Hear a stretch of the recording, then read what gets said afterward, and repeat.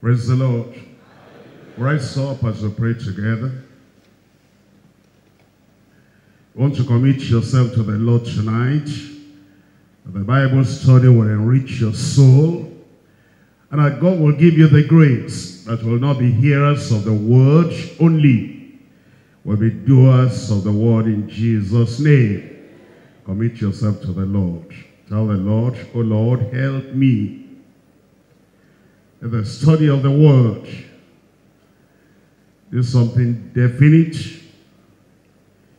something specific,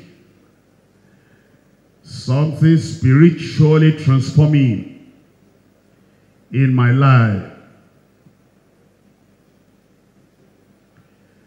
That the work, will, the word will work effectually in my soul and move me out obedience to that word. Heavenly Father, we thank you tonight for the Bible study. Thank you for your children who are here and who are ready to learn. We're asking, Lord, that the power that comes with the word will be resident in the word and will operate in every heart in Jesus' name.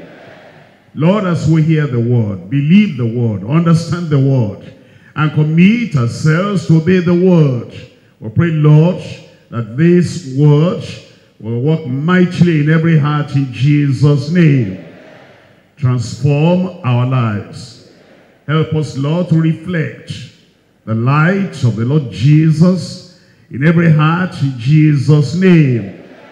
That our neighbors, our co-workers, our friends, our relatives will also see the great salvation that you have given every one of us in Jesus' name. Help us, Lord, to move on in the power of the Holy Ghost. So we'll not be irresponsible as we learn from day to day and week to week, year after year in Jesus' name. Give us the spirit of understanding and obedience to your word tonight. In Jesus' mighty name we pray. We're coming to Acts of the Apostles chapter 16. And I'm reading to you from verse 1. Then came he to Derbe and Lystra, and behold, a certain disciple was there named Timotheus, the son of a certain woman, which was a Jewess and believed, but his father was a Greek, which was well reported of by the brethren that were at Lystra and Iconium. Verse 3, he would Paul have to go forth with him and took him and circumcised him because of the Jews which were in those quarters, for they knew all that his father was a Greek. And as they went through the cities, they delivered them the decrees for to keep that were ordained of the apostles and the elders which were at Jerusalem. And so were the churches established in the faith and increased in number daily. We're reading once again about Paul the apostle and then his team that joined him to go along and preach the gospel in obedience to the word of the Lord. The Lord Jesus Christ had given the Great Commission. He gave it to the whole church. And if every member of the church, everyone born again, everyone saved, everyone sanctified, everyone studying the word of God, everyone filled with the Holy Ghost, will take the words of the Lord Jesus Christ as seriously as Paul the apostle took the word. The world would have been evangelized before now, but it's not too late. As we come to study the word of God, I will pray to the Lord that he'll do a redemptive work, he'll do a restoring work, and he will do a regenerational work in every heart. That as the word comes in, the power that comes from the word, the authority, the anointing, the fire, the zeal, the passion that comes from the word will work in our hearts. If that happens to you and that happens to me, and then we all take the gospel, this saving gospel, this sanctifying gospel and this empowering gospel, if we take the gospel out to our neighbors, to our classmates, to our co-workers, and to our relatives, and to our friends, in no time at all, the world will be won unto the Lord in Jesus' name. Paul the apostle was a committed man. He was a devoted man. He was a consecrated man. The commitment that he had to Christ and to his commission was unique, was endearing, and was enduring and excellent and extraordinary.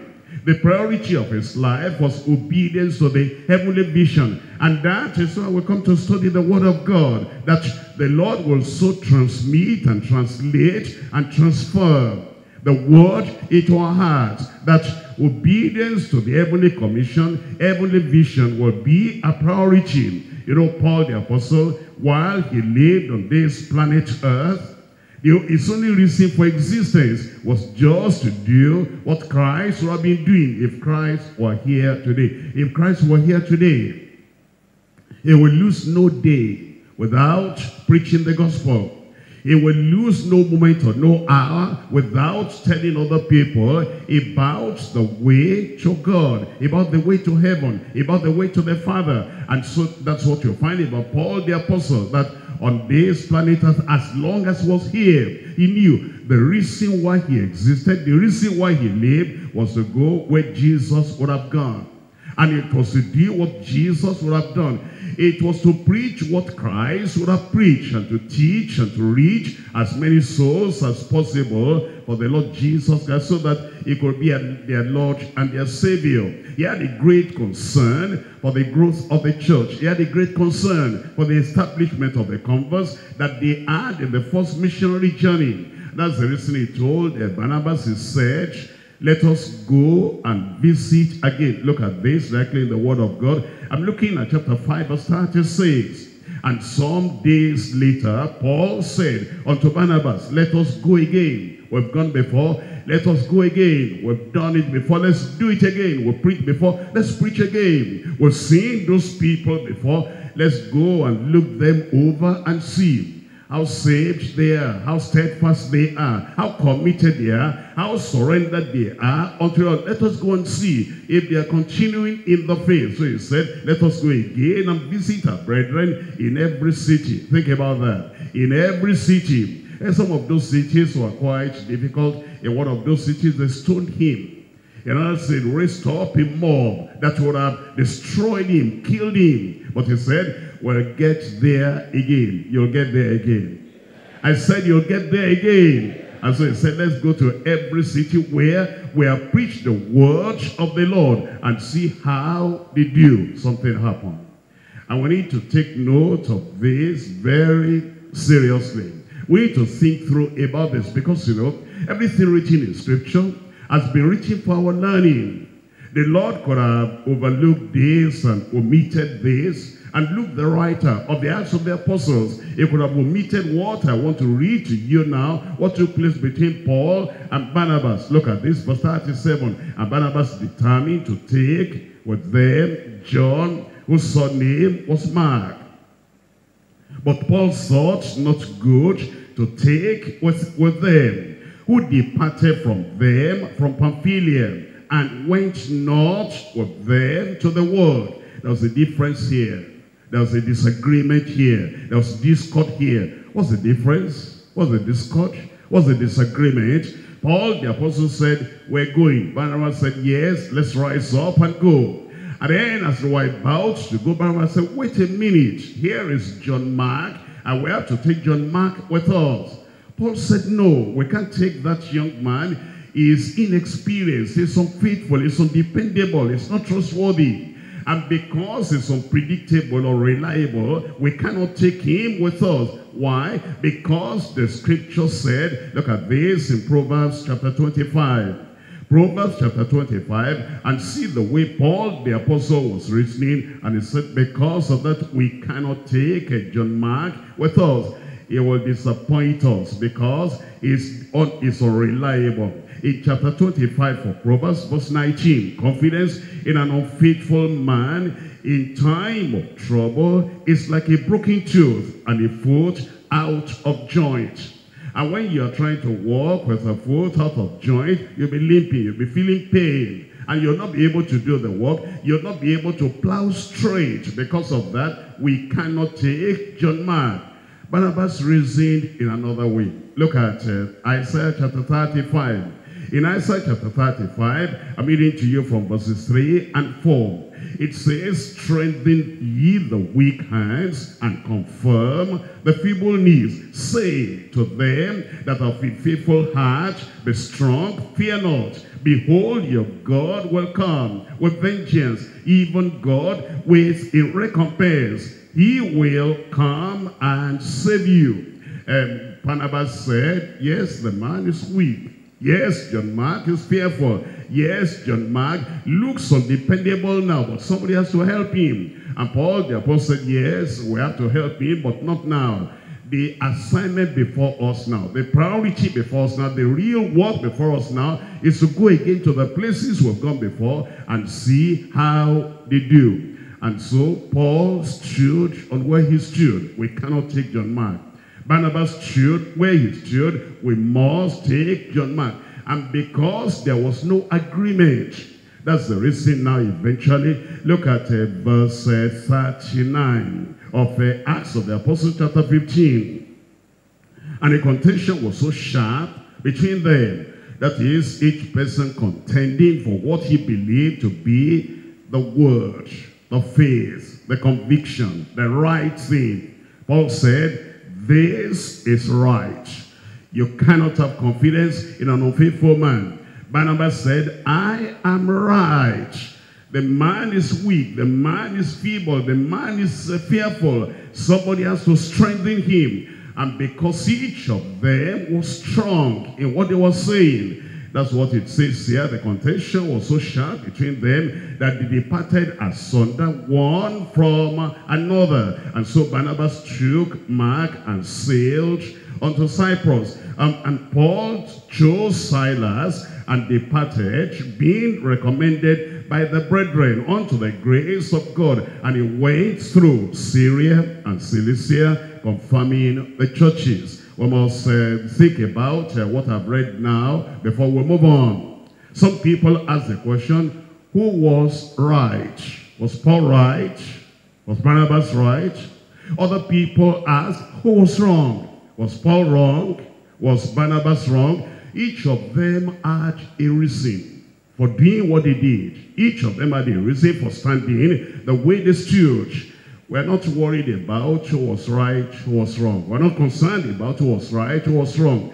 The point we need to emphasize is what God has joined together, tell me, let no man put asunder. That's what we need to think about. Now, the Lord had joined Paul and Barnabas together. Whatever the issue was with Mark shouldn't have put them asunder. Whatever the issue was with the young man, feeble, inexperienced, unreliable, undependable, unpredictable, shouldn't have put them asunder. And the Lord is teaching us a lesson there. Come back to Acts chapter 13. And I'm reading here from verse 2. As they ministered to the Lord and fasted, the Holy Ghost said, Separate me, Barnabas and Saul, for the work whereunto I have called them. He didn't mention John Mark.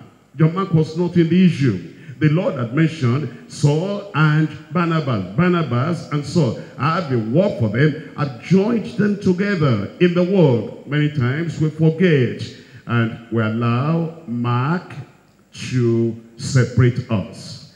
That the Lord has said, A and B, you are together.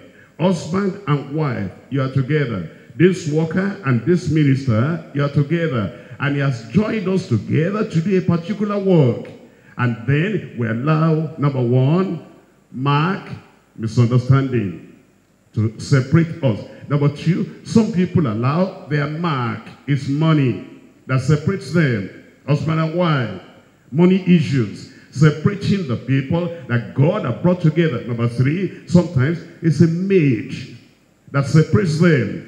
The mark that separates them is a mage. Other people is mockery. Because of the mocking, either from outside is coming or one partner is mocking the other, that mockery, I cannot stand that. You cannot stand that. And that becomes your mark that separates you from the one the Lord has joined you to. Other, play, other people is Miriam that separates them. That the Lord has put together Moses and Aaron. And now, because Miriam comes in and it begins, uh, you know, a kind of tale-bearing, a kind of gossip, then that separates them. Or sometimes it's a mischief maker.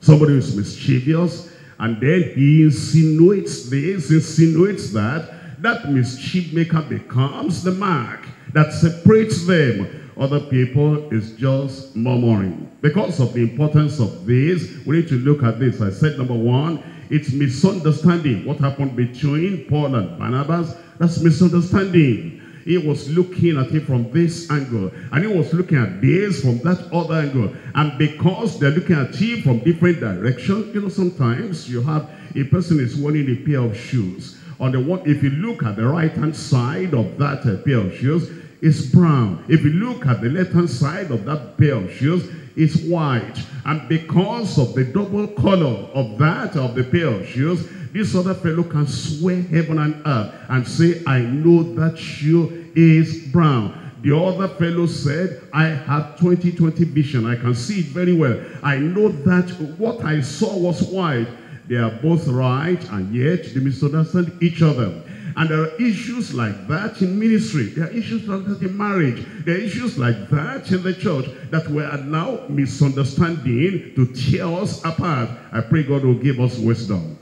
Number two, I said sometimes it's money that tears us apart. That the people God has joined together, we allow that money issue to separate us. I'm looking at 1 Timothy chapter 6 and verse 10. In 1 Timothy chapter 6 verse 10, for the love of money is the root of all evil. Once you then concentrate on that money, and you forget your relationship, you forget your marriage, you forget your family, you forget your friendship, you forget your fellowship, and the money becomes the central thing now, that money can be like your John Mark that will separate you from the one that the Holy Ghost has joined you together with. For the love of money is the root of all evil, which while some coveted after, they have erred from the faith, and they have pierced themselves through with many sorrows. Number three, it's a.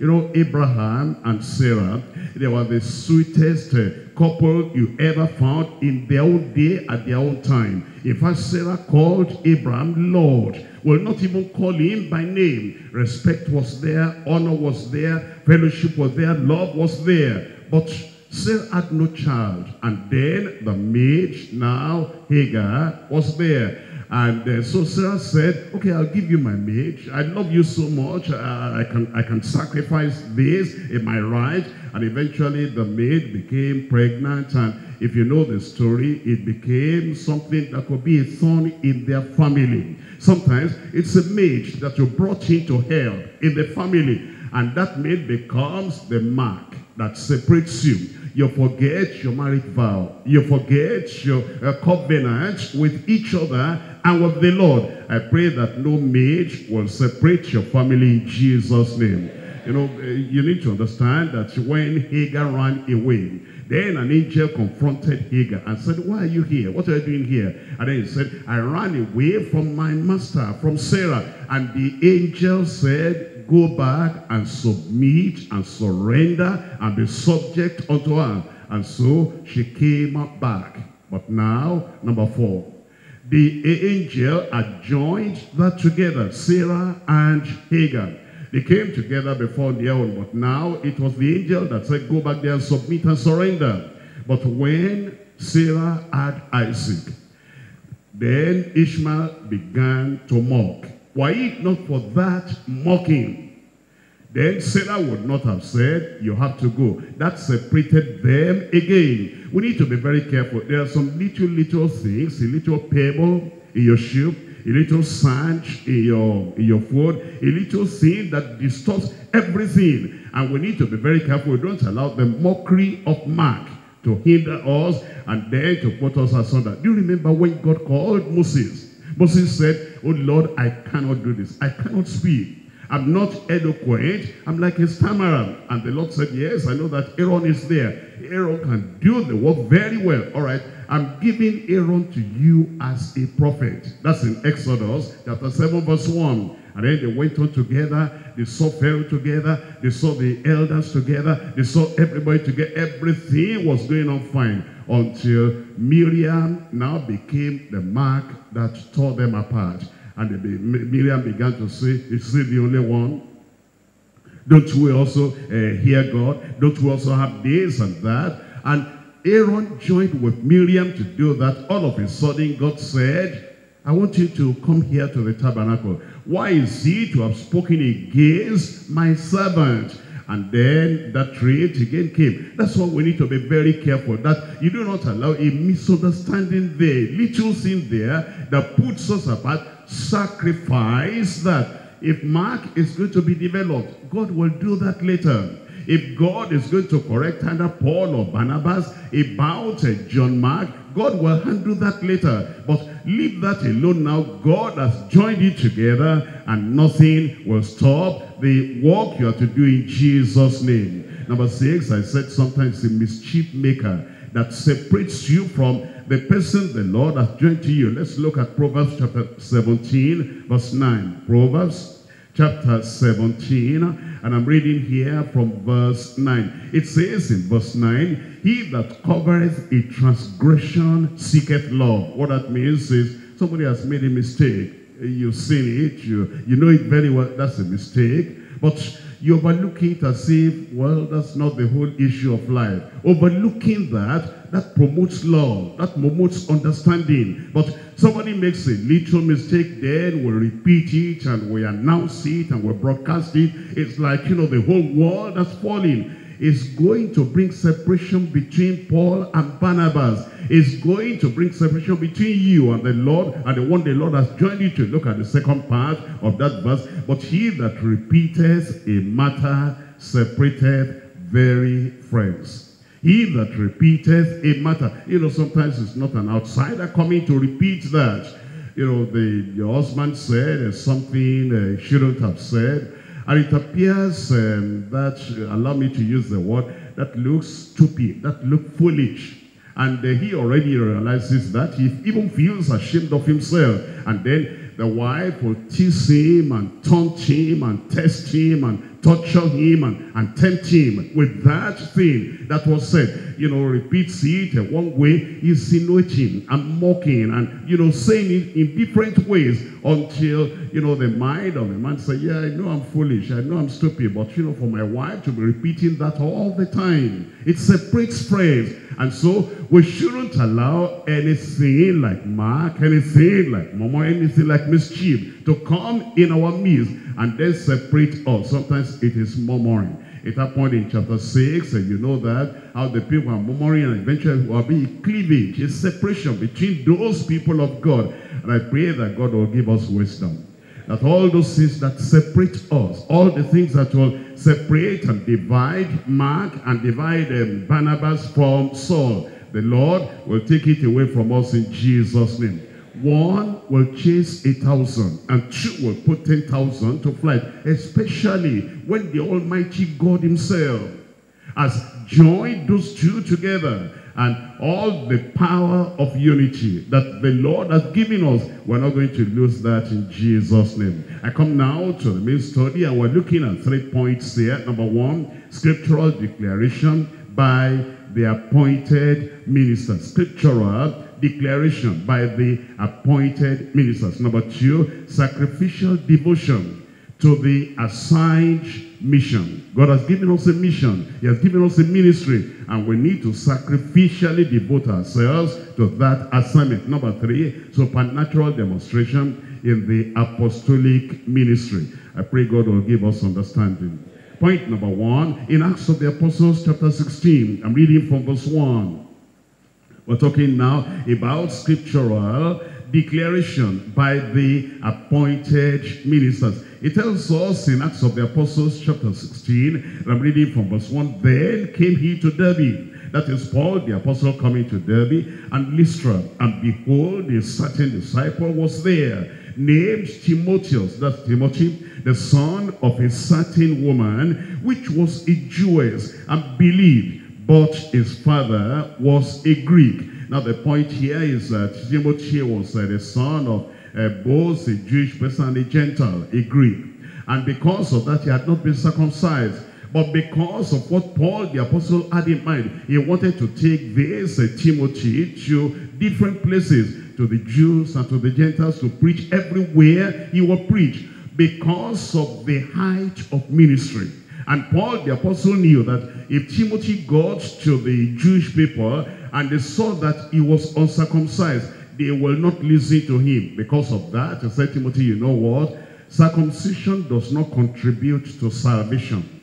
Circumcision does not matter at all in salvation. That is what was settled in Acts chapter 15. But circumcision matters for your service. If you're going to reach the Jewish people, I am a Jew. I'm circumcised. I can reach the Jews. I can also reach the Gentiles. I want you to be like me, to be all things to all men. And because of reaching the Jews, I want you to sacrifice your liberty and I want you to be circumcised. Look at this in verse 2, which was well reported of by the brethren that were at Lystra and Iconium. That is, they, they had a good report about Timothy. He's saved, he's born again, he's righteous, is honest, is faithful, is living right. And so Paul, the apostle, had confidence in him. Him, in verse 3, what Paul had to go forth with him. And he took and circumcised him because of the Jews, which were in those quarters,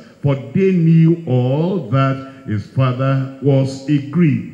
And that Timothy could submit to this painful operation of circumcision at that time at his age because he was already in a way an adult. Then we come to verse 4. This was good because he surrendered to that. And as they went through the cities, they delivered them the decrees for to keep that were ordained of the apostles and the elders which were at Jerusalem. And so were the churches established in the faith and increased in number daily. We need to clear up something here.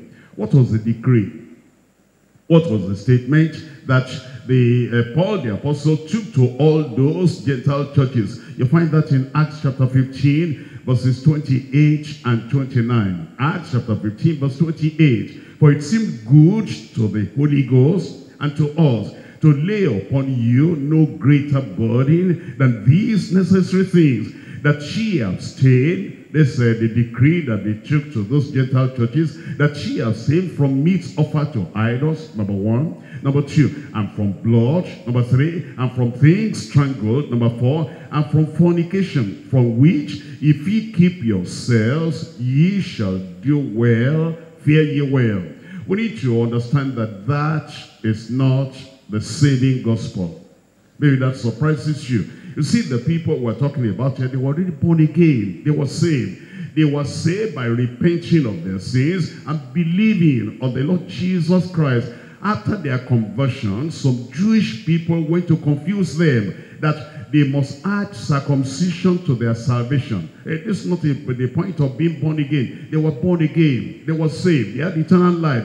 They believed on the Lord Jesus Christ. Look at chapter 15 verse 3. Chapter 15 verse 3. And being brought on their way by the church, they passed through Phoenicia and Samaria, declaring the conversion of the Gentiles. And they caused great joy unto all the brethren the conversion of the Gentiles. They were saved.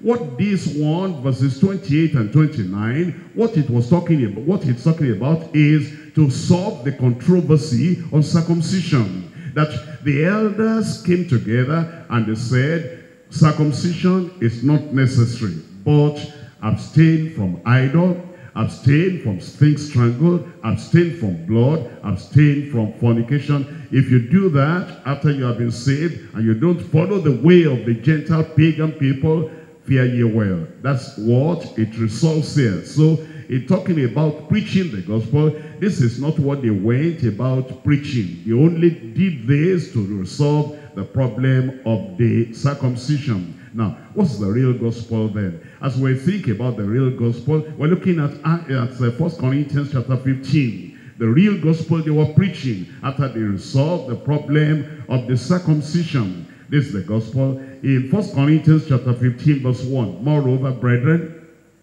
I declare unto you the gospel, which I preached unto you, which also ye have received, and wherein ye stand. It says, this is the gospel now. What is it? It says, by which also ye are saved if ye keep in memory what I preach unto you, unless ye have believed in vain. You see, they have believed, but he didn't want them to believe in vain. But what was the gospel really? Look at verse 3. For I delivered unto you, first of all, that which I also received, how that Christ died for our sins according to the scriptures. That's the gospel. About um, sinning from blood, abstaining from this and that. That was to resolve the controversy they had with the Gentile converts. But the real gospel that saved them, the real gospel that brought them to the Lord, the real gospel that brought eternal life, salvation, and that brought the kingdom of God into their heart, this is the gospel that Christ died for our sins, according to the scriptures, verse 4, and that he was buried, and that he rose again the third day, according to the scriptures. That's the gospel. Look at Romans chapter, chapter 10. Romans chapter 10, and let's see the gospel they ought to believe and the gospel you ought to believe so that you can be saved.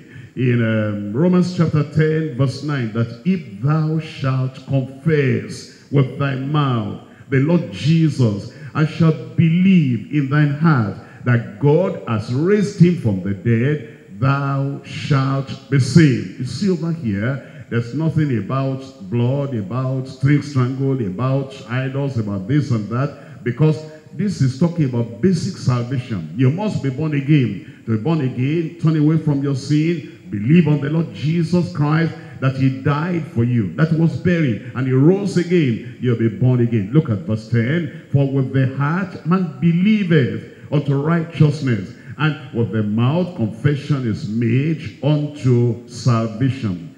That is the gospel, and we will keep to that gospel in Jesus' name. In uh, 1 Corinthians chapter 3, we're reading from verse 10 and verse 11.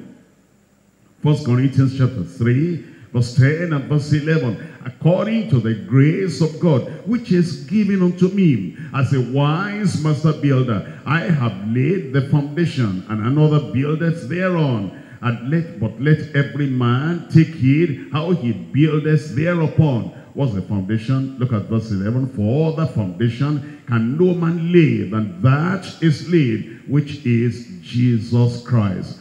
Jesus our Savior. Jesus our substitute. Jesus, the Lamb of God that took away the sin of the world. That is the gospel. The other thing they said, which they now deliver to the Gentile churches, was just to solve the problem of circumcision or no circumcision. Let's come back to Acts of the Apostles chapter 16. And I'm reading now from verse 6. It says in verse 6, Now when they had gone throughout Phrygia and the region of Galatia, and were forbidden of the Holy Ghost to preach the word in Asia.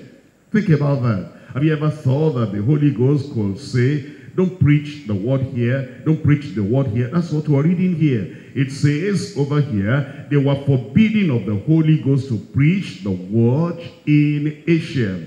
Understand? That was temporary. Why was it temporary? Because the, the people in Asia, they were not ready at that time. They were not willing. And there was another place that was open. And that place was willing. And so he said, this door is closed now. It will open later. But this is an open door. These people are willing. They, they say, come over to Macedonia and help us. We want to repent. We want to believe on the Lord Jesus Christ.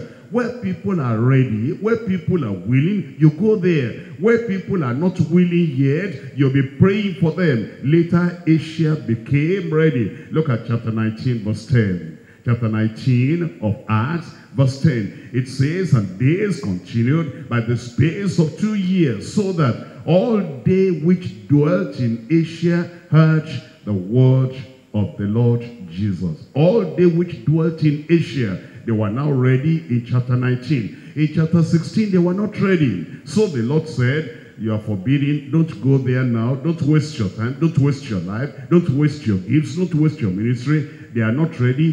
Go over here now. When they are ready, you will come back. Uh, that's uh, what the Lord is revealing to us. Let's come back to Acts chapter 16. And we're looking at verse 7.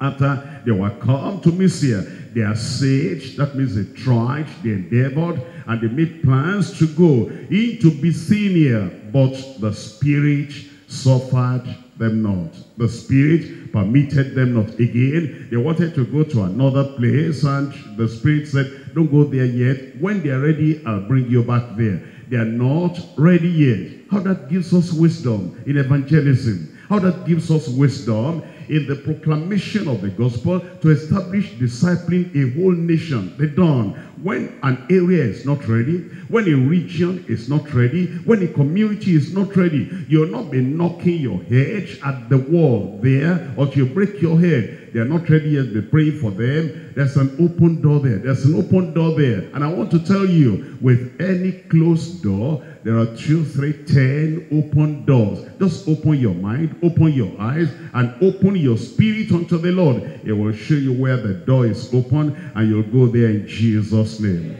And then it says in verse 8, And they passing by Mysia came down to Troas. And a vision appeared to Paul in the night. There stood a man of Macedonia and prayed him, saying, Come over into Macedonia and help us. That's what I told you, that the doors were closed in Bithynia. It was closed in Asia this time, but the door was open in, um, in Macedonia, and they went there. And I pray God will give us the wisdom to go to the right place at the right time and for the preaching of the gospel in Jesus' name. But uh, we, we, need to clear up something in that area. There's some people, any little difficulty, any little challenge, okay, the Spirit does not want me to go there. Any little persecution, the Spirit does not want to go there. Any little resistance, the Spirit does not want me to go there. There are three things. Number one, there is the restraint of the Spirit. The restraint of the Holy Spirit. That's number one. Number two, there is the reaction of a hateful society. There's a difference. Holy Spirit, hateful society. There is a restraint here. There is reaction here. Number three, there is the restriction of a hindering Satan. Look at them. Number one, the the restraint of the Holy Spirit. That's what we read in chapter 16, verse 6. Now, when they had gone throughout Phrygia and the region of Galatia, they were told, and region of Galatia, and they were forbidden of the Holy Ghost to preach the word in Asia. That is the restraint of the Holy Spirit. Look at uh, 1 Thessalonians chapter 2. 1 Thessalonians chapter 2, we're reading from verse 14 to verse 16. In verse 14, For ye, brethren, became followers of the churches of God, which in Judea are in Christ Jesus. For ye also have suffered the like things of your own countrymen, that society, a hateful society. And then it goes, even as they have of the Jews, who both killed the Lord Jesus and their own prophets, and have persecuted us and they please not God, and are contrary to all men, forbidding us to speak to the Gentiles that they might be saved, forbidding us.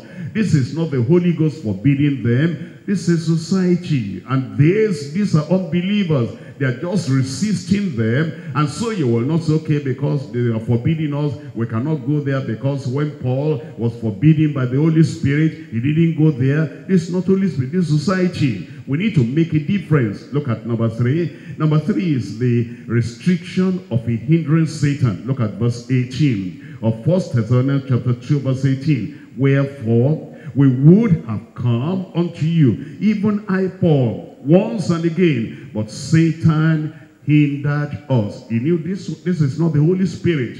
This is Satan. And uh, why was he writing to the Thessalonians? Because he was going to take authority over that Satan. He was going to resist the devil, and the devil will flee from him, and the devil will flee from you in Jesus' name.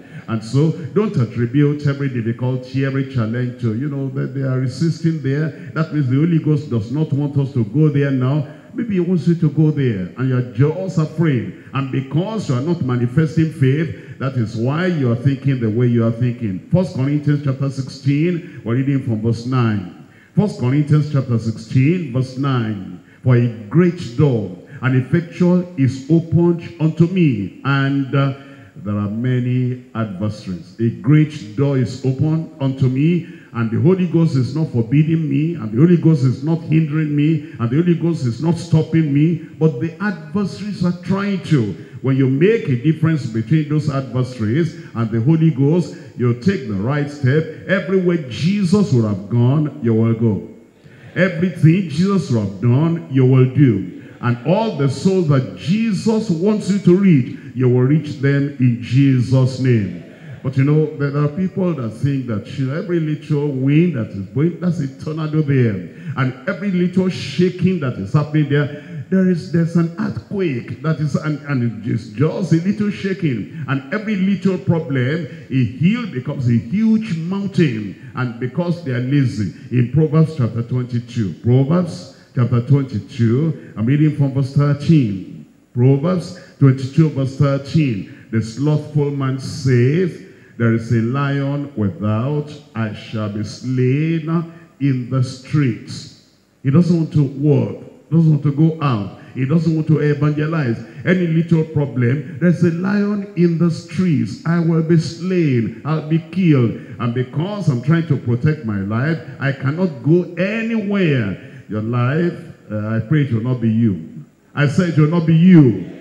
Such a life will be useless in life that fears every wind blowing. That fears every news that you know they hear. And they attribute everything to the Holy Ghost telling them don't go. I pray you will go look at uh, chapter 26 of uh, Proverbs. Proverbs chapter 26 and I'm reading from verse 13 the slothful man says there is a lion in the way. A lion is in the streets Every, every street has a lion. Every, every street has a difficulty. Every street has a gate. Every street has a danger. That's what they think. Because of that, they are not going. But the Lord said, I will go with you. And I will be with you. And no man shall set to hurt you in Jesus' name.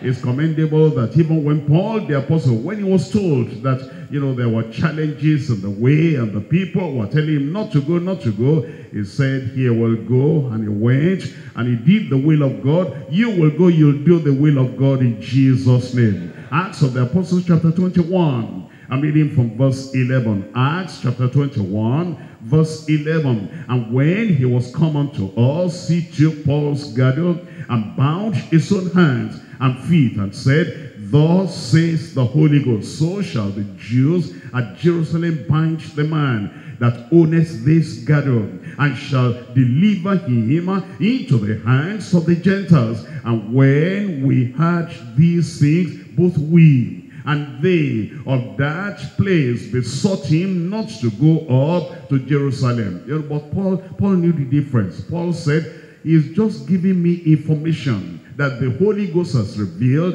There are challenges when I get there. there there's persecution when I get there. There will be difficulties when I go there. The Holy Ghost is not saying don't go. The Holy Ghost is saying challenges are there. Get prepared. Challenges are there. Be prayerful. Challenges are there. Be in authority. Challenges are there. Wear your cap and have the girdle and have your shield of faith and you'll quench all the folly darts of the wicked one. That's the understanding of Paul the Apostle. That's why he said in verse, uh, look at verse uh, 12 again. And when we, uh, when we had these things, both we and they of that place besought him not to go up to Jerusalem. But Paul answered, what me ye to weep and to break mine heart? For I am ready not to be bound only, but also to die at Jerusalem for the name of the Lord Jesus. And when he would not be persuaded, we see saying, the will of the Lord be done. In your life, the will of the Lord be done.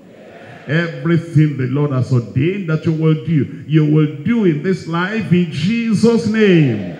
The wall of fire will surround you the Almighty God himself will surround you. And the angels of God will protect you in Jesus' name. Point number two now. Acts of the Apostles chapter 16. Acts chapter 16, I'm reading from verse 9. It tells us in verse 9, and a vision appeared to Paul, to Paul in the night.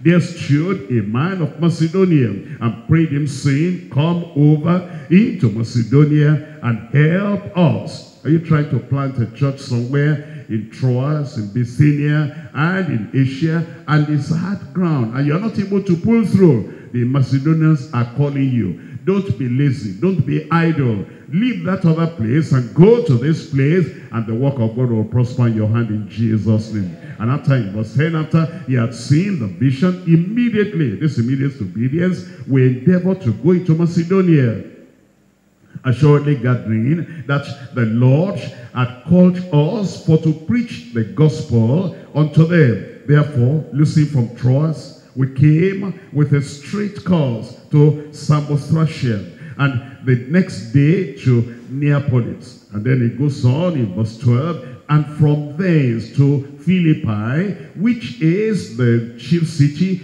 of, the, of that part of Macedonia, and a colony. And we were in that city abiding certain days. You see, Paul the apostle, he took all the means of transportation available at that time, and he went from place to place to place to place. Life is easier now. The cycles are there, the motorcycles are there, and the cars are there, aeroplanes there, and boats there, everything there now. We don't have any excuse. We will do the work of God.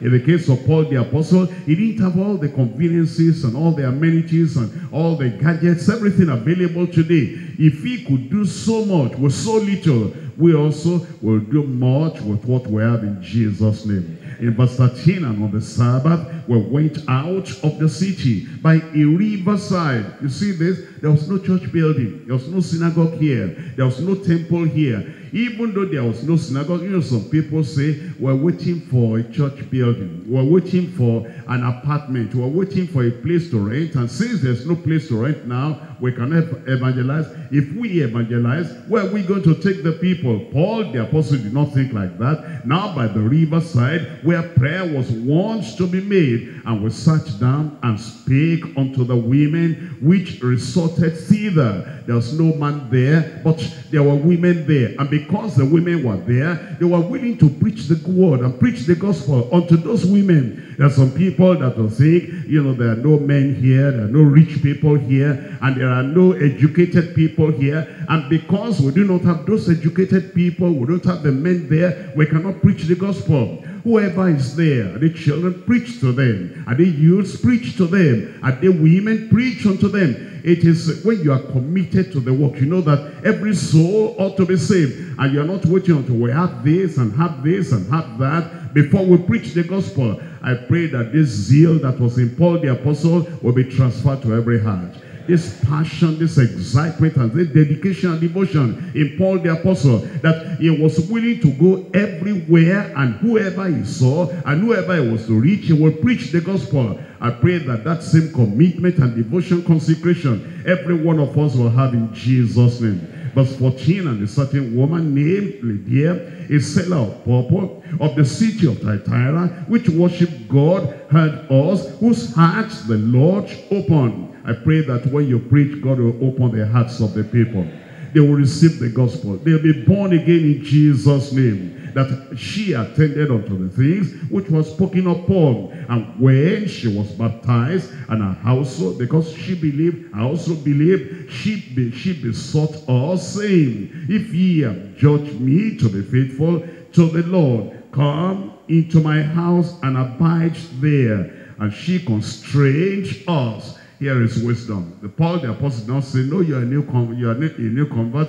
We don't know whether you are going to stand or you are not going to stand. Now you are offering your house that will use your house, uh, you know, to stay there and to minister there. We cannot do that until we know that you are stable, until we know that you are solid and steadfast. No, he didn't do that. As people get born again and then they surrender themselves, surrender their time, surrender their property, their land and their houses. And they say, we can use it for the propagation of the gospel. We will respond like Paul the apostle. Are you there?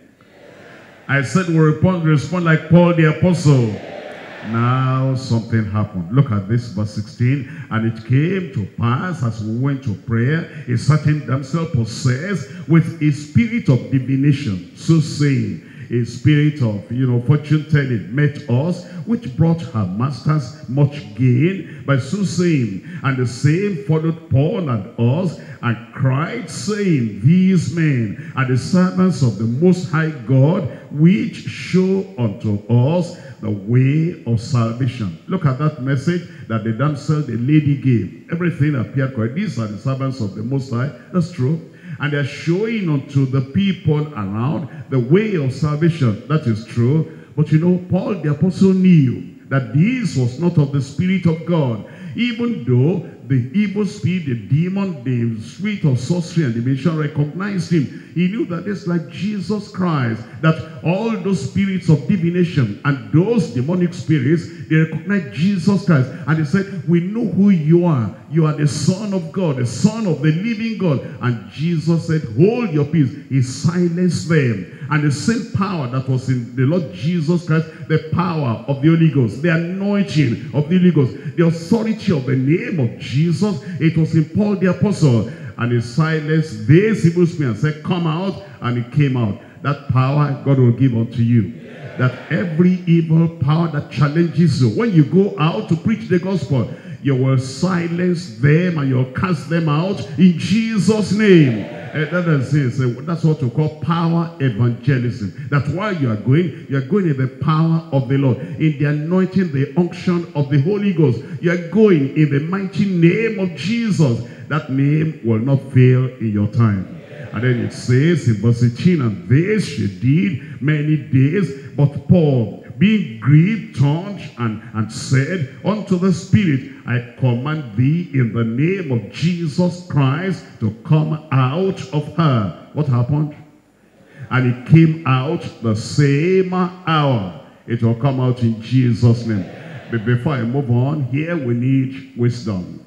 Some people, they have just one stereotyped way of dealing with different kinds of problems. Don't you remember in Acts chapter 13 when uh, that uh, deputy called uh, Paul and Barnabas to come and preach? There was this Bar-jesus having evil spirit, enemy of righteousness, enemy of progress, and then try to withstand Paul the apostle and try to discourage the, the deputy. But in that case, Paul the apostle did not cast out the devil. He just said, you'll be blind, not seeing the sun for some, some season. And then he became blind, and that convinced that deputy. In this case now, Paul approached it another way and cast out the evil spirit. Rely on the Spirit of God. Rely on the Holy Ghost. And when he tells you what to do, and you do what he has told you to do, you will succeed in Jesus' name.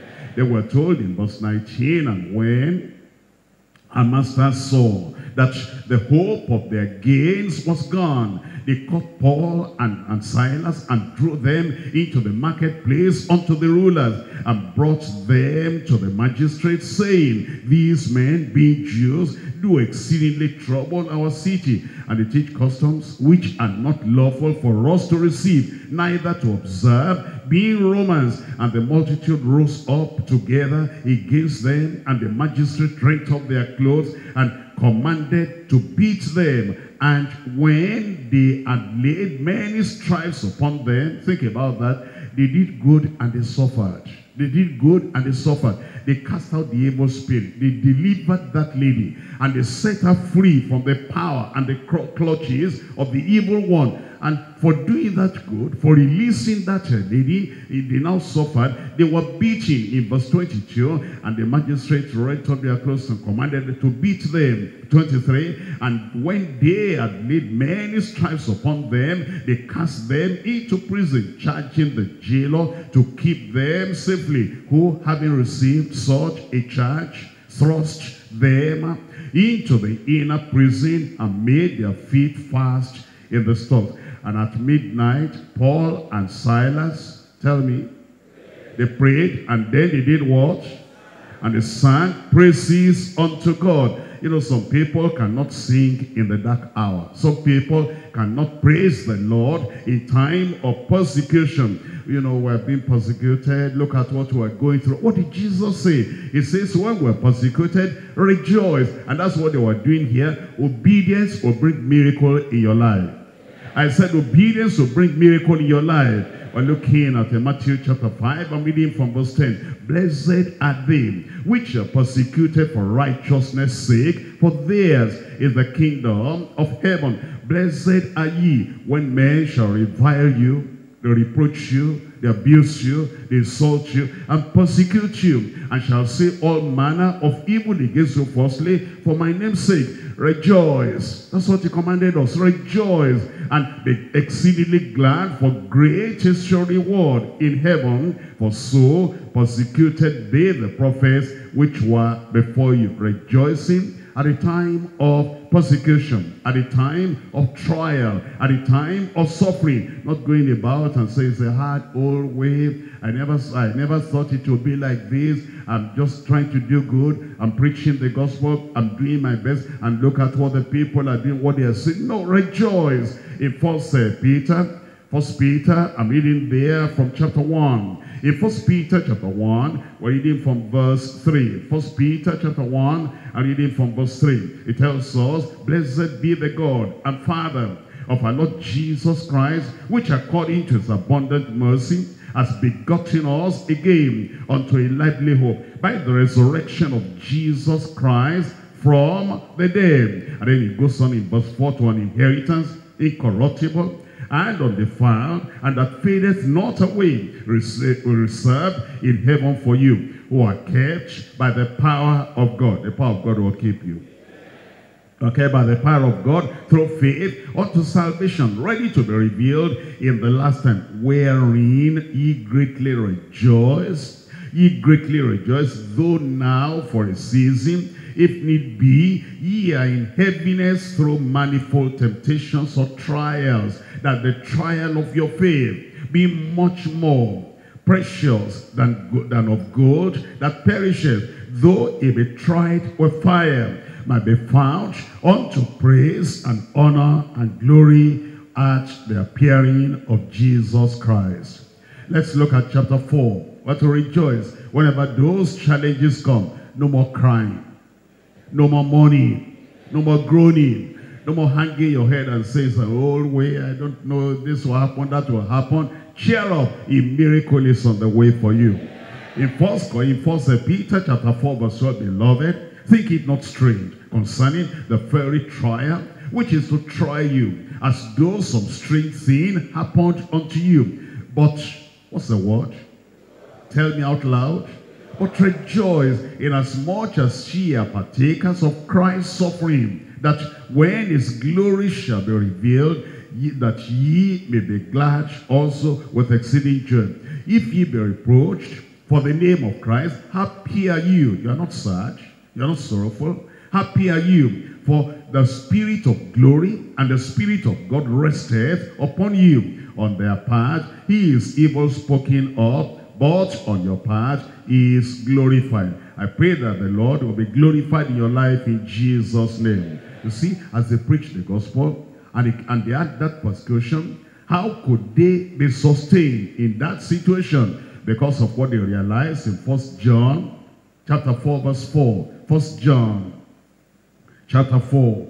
And we're reading here from verse 4. It says in verse 4, Ye are of God, little children. Anybody of God writes there? Amen, amen. Ye are of God, little children, and have overcome them. You will overcome.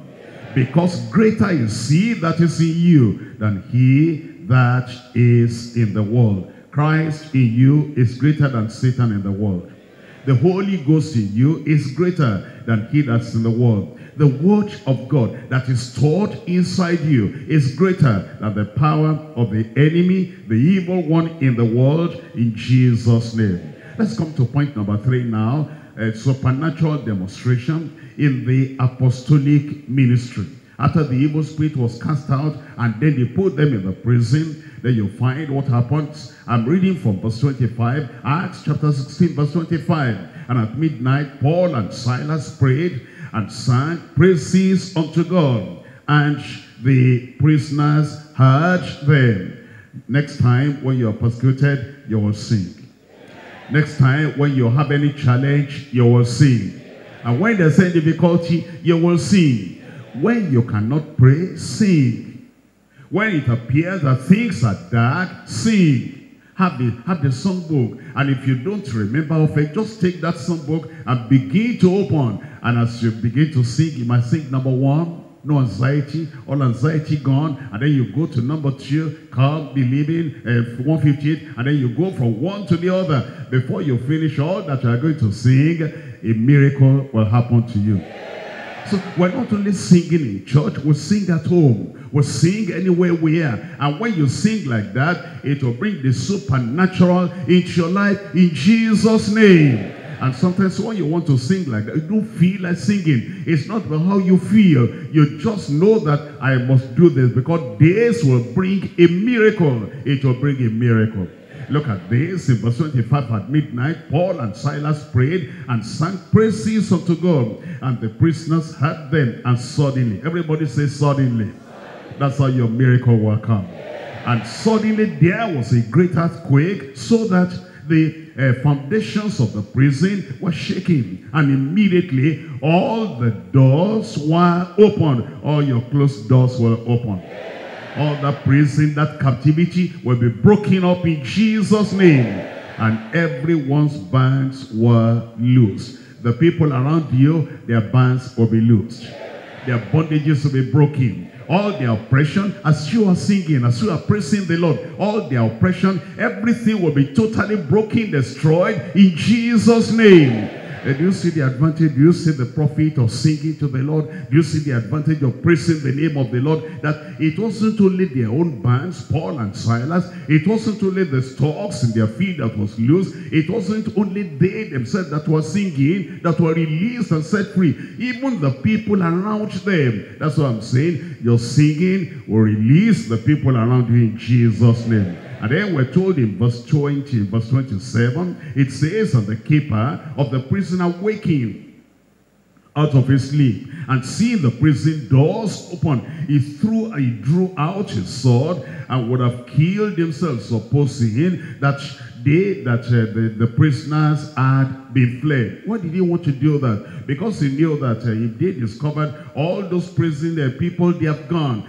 they will examine him and then he'll be killed. So before they kill me, let me kill myself. And then Paul cried with a loud voice saying, Do thyself no harm, for we are all here. Then he called for a light and sprang in and came trembling and fell down before Paul and Silas and, and, said, and brought them out and said, Sirs, what must I do to be saved? What's the meaning of that? He knew that by the grace of God now, he had been saved from earthly judgment. If those prisoners had fled and they had gone away, he would have lost his life. He knew that his life was secured. As for earthly judgment, I have escaped earthly judgment. I now want to escape eternal judgment, eternal damnation. He wanted to escape the judgment that will come upon the sinner on the final day. You see, an unusual miracle had happened here.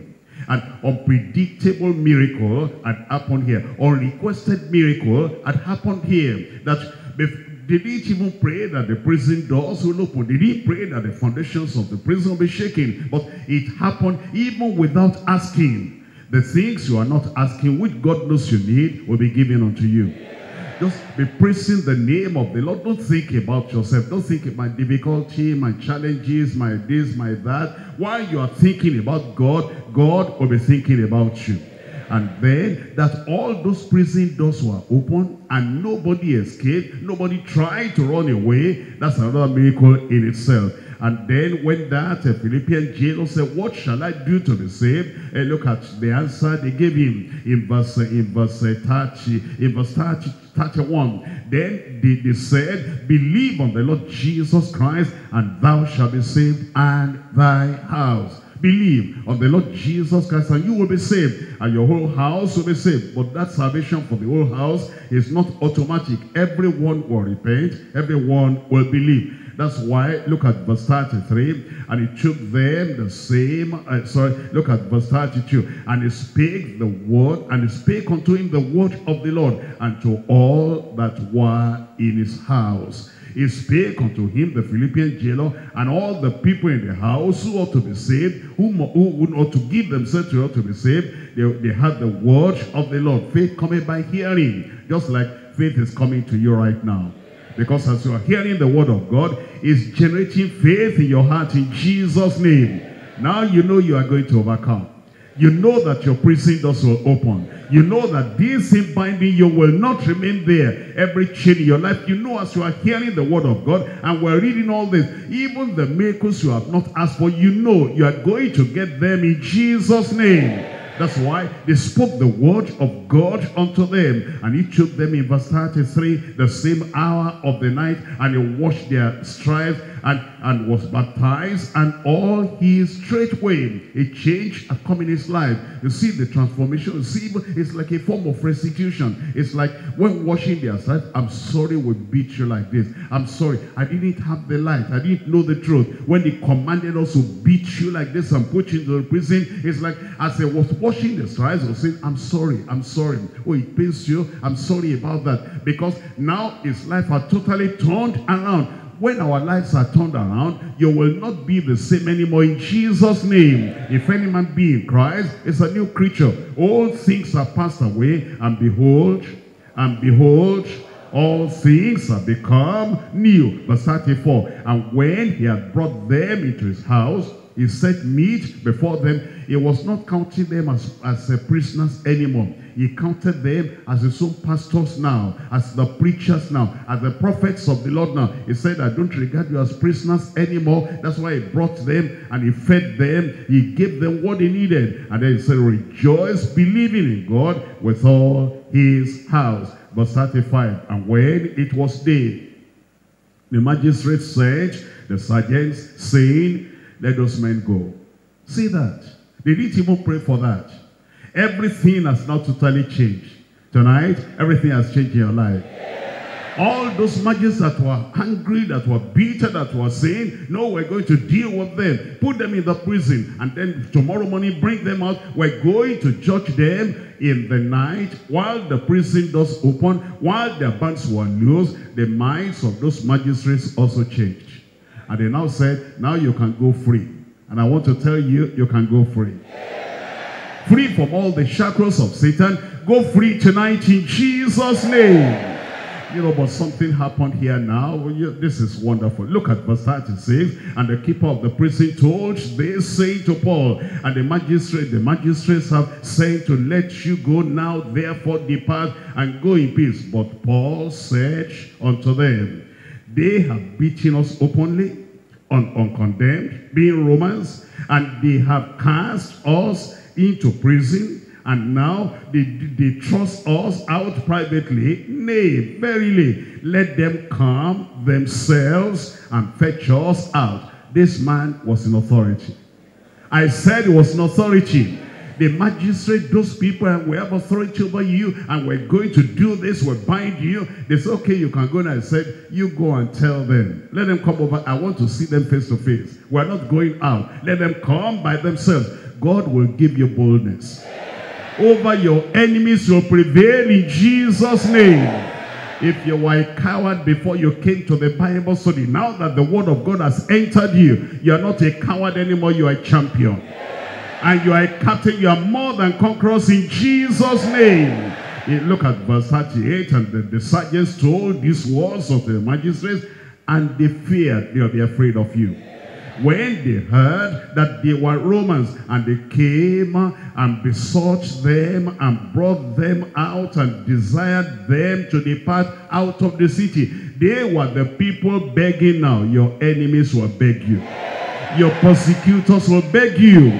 And then it says, and they went out, and when they came out, they went out of the prison. You have come out of your prison. And they entered into the house of Lydia, and when they had seen the brethren, they comforted them and departed. It started with persecution. Now they had victory.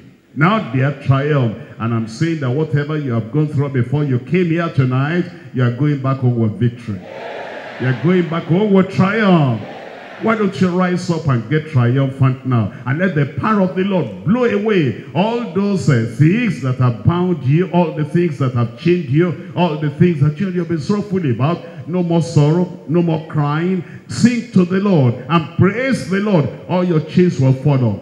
All your shackles will fall off. Praise the Lord, praise the Lord, praise the Lord. Whatever you are going through, praise the Lord, I'm born again. Praise the Lord, I'm a child of God. Praise the Lord, He has set me free. Praise the Lord, Jesus died for me on the cross of Calvary. And You as a child of God, it's not a season of crying. It's not a season of weeping. It's not a season of mourning. It's not a season of being a coward and being fearful and then dropping your head and walking as if, uh, you know, you don't have it. You don't have the Holy Ghost inside you. Jesus lives on the inside of you. And the Holy Ghost lives on the inside of you. Be courageous and be fearless. You are an overcomer already. And you are more than a conqueror. You are more than a conqueror. All your chains are broken.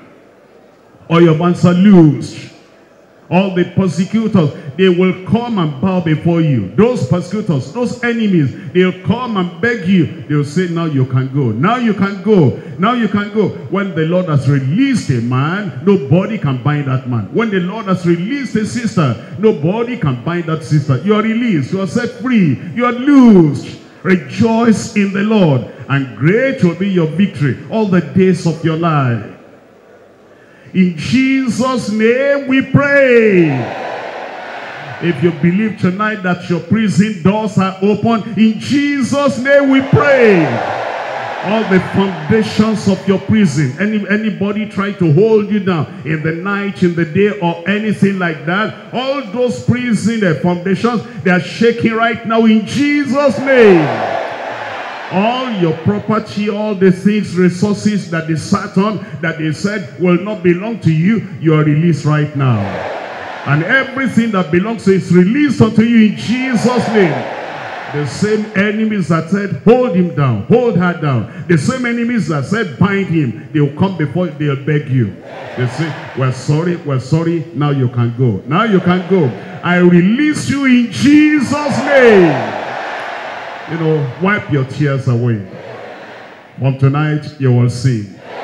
When you are returning home from the Bible study tonight, you'll be singing and clapping because all your problems are gone in Jesus' name. Raise up your hand to them. Father, in the name of Jesus, we thank you today. Our prison doors are open. Our bands are open. Oh Lord, we pray all the chains, they are totally destroyed in Jesus' name. Every child of God here, every brother, every sister, no sickness will bind you. No oppression will bow your head down. No enemy will overcome you. All those, uh, all those dungeons of darkness, the light of God will come into your dungeon in Jesus' name. I pray that you'll be free from your sickness, free from your oppression, free, your, free from every attack, every affliction in Jesus' name. As you go back home and you are singing, miracles will follow you. The power of the Lord will uphold you in Jesus' name. Lord, I pray, put testimony in every mouth. Set your people free. Enemies will bow before you. Persecutors will bow before you. You are released. You've been begging them. They didn't hear. From now on, they will beg you in Jesus' name. And I pray that all your blessing, blessings will keep on following you. And as you go proclaiming the gospel, preaching the gospel, I pray that the signs following will follow after you. Lord, confirm it in every life. In Jesus' mighty name we pray.